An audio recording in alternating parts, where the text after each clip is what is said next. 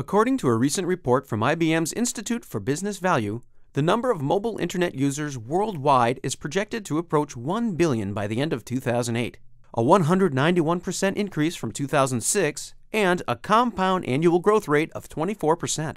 Also, this year, for the first time ever, more people in the world will have a mobile phone than a landline. This global proliferation of mobile devices and mobile web users signals an incredibly lucrative growth opportunity for businesses across many industries. IBM today also announced a new service to promote telecommuting. The new software and services can help employers increase productivity by as much as 30% and cut real estate costs, the second largest corporate expense after salaries and benefits. Business doesn't stop. Business activity monitoring doesn't stop. Business process management doesn't stop.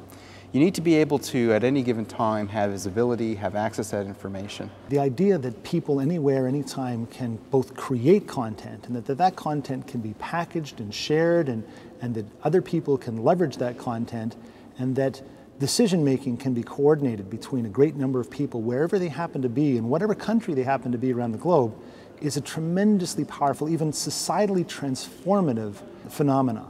And so uh, we're very, very proud to be very the, at the very leading edge. Using IBM software for mobile devices, people will have all the information they need, from email to business performance analysis, available in the palm of their hand.